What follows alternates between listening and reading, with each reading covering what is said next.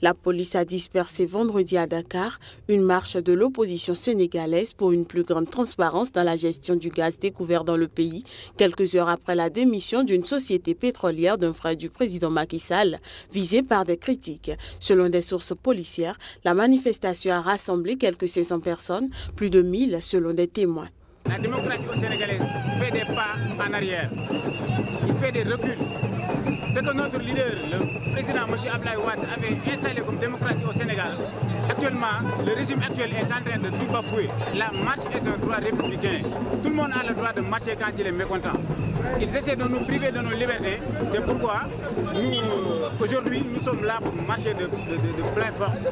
Parce qu'on ne va pas accepter d'être euh, d'être baïonnés. Les autorités avaient autorisé la marche visant, selon les opposants, à défendre les libertés et réclamer une plus grande transparence dans la gestion des gisements sous-marins de gaz et de pétrole découverts ces dernières années. Elles avaient demandé aux organisateurs de ne pas l'organiser au centre-ville, mais ces derniers avaient refusé inadmissible, inacceptable.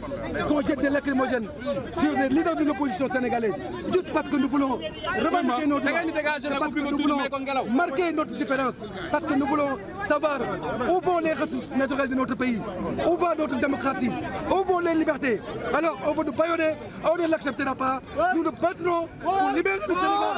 Et le Sénégal la coalition de l'opposition critique depuis des mois l'implication manifeste du frère du chef de l'État dans le domaine des hydrocarbures au Sénégal. Le président Sall a pris jeudi un décret portant création du comité d'orientation stratégique du pétrole et du gaz dans la dynamique de gestion saine et durable des ressources naturelles. La création de ce comité vient renforcer le dispositif global de transparence dans la gestion des ressources naturelles après l'adhésion du Sénégal à l'initiative pour la transparence des industries extractives et la constitutionnalisation du droit des populations sur les ressources naturelles lors de la révision adoptée par référendum le 20 mars.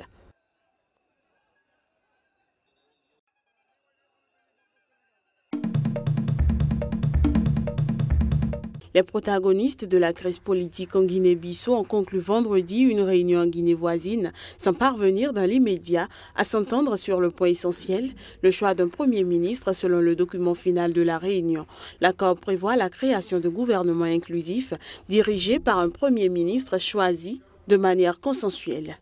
C'est historique de retourner à Conakry. Comme vous le savez, pour le PIGC, tout est démarré là. C'est avec le soutien du peuple de, Conakry, à l'époque de Sékou Touré, qu'on a commencé notre lutte de libération. Et je pense que si 43 ans après, on revient à Conakry, on a souhaité que l'esprit de Conakry nous bénisse dans le sens de retrouver la paix, la stabilité dans notre pays. Les acteurs de la crise politique qui secoue la Guinée-Bissau depuis plus d'un an ont accepté le 10 septembre une proposition en six points présentée par des dirigeants de la région. Sur le choix du Premier ministre, trois noms ont été donnés, dont un devait s'imposer, a précisé Alpha Condé lors de la séance de clôture, sans les relever. Selon des sources proches, le mieux placé est Augusto Olivet, ancien secrétaire permanent du Parti africain pour l'indépendance de la Guinée et du Cap-Vert. Un nouveau Premier ministre sera nommé un gouvernement de consensus sur la base, n'est-ce pas, de la configuration de l'Assemblée sera nommé et nous insistons pour que le Premier ministre puisse rester là pendant deux ans et conduire ces différentes réformes. Selon la Constitution, le choix du Premier ministre revient au parti majoritaire.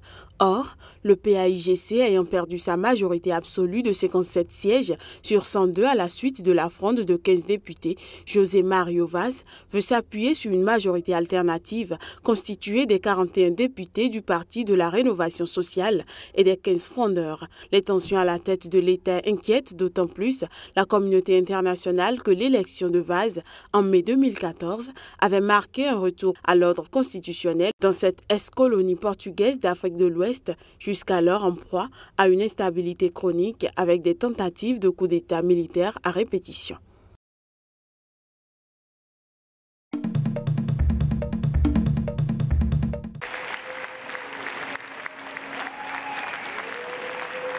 L'amendement au protocole de Montréal sur la protection de la couche d'ozone, copieusement applaudi par les diplomates, exténué par une nuit entière passée à le peaufiner. Ils sont heureux et satisfaits parce qu'ils viennent de franchir une étape majeure dans la lutte contre le réchauffement climatique.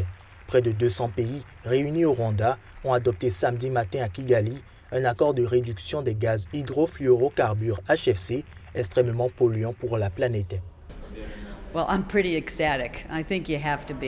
Je suis ravi. Je pense qu'on doit l'être. Nous parlons d'une action qui permet de réduire les hydrofluorocarbures de 70 milliards de tonnes métriques. Cela équivaut à 2000 centrales à charbon. C'est presque 10 fois les émissions américaines en un an. C'est un accord stupéfiant.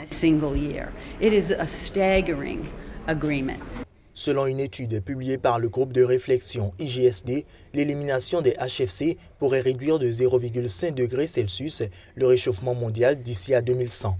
À l'horizon 2030, elle permettrait d'éviter jusqu'à 1,7 gigatonnes d'équivalent CO2 par an, soit les émissions annuelles du Japon. Beaucoup ont dit qu'ils veulent surpasser leurs décisions ici. C'est bien sûr, il faut faire des concessions, il faut faire des compromis, mais tous ensemble, ce qui était le plus important, c'est que nous sommes, restés unis dans ce but unique d'éviter le réchauffement global et peut-être parvenir à minimiser l'élévation de la température de 0,5 degrés, ce qui est très très important. Juridiquement contraignant, l'accord de Kigali permet de donner un signal positif à quelques semaines de la prochaine grande conférence annuelle sur le climat COP22 à Marrakech.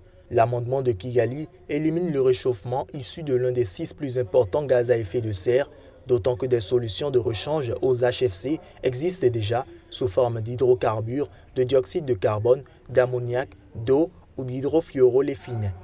Les participants ont par ailleurs confirmé leur engagement à financer la transition. Fin septembre, 16 pays et 19 organismes et donateurs privés réunis à New York avaient déjà promis une aide de 80 millions de dollars pour les pays en voie de développement. Le financement de la transition, dont le total est estimé à plusieurs milliards de dollars à l'échelle mondiale, fera l'objet de nouvelles discussions fin 2017 dans le cadre du protocole de Montréal.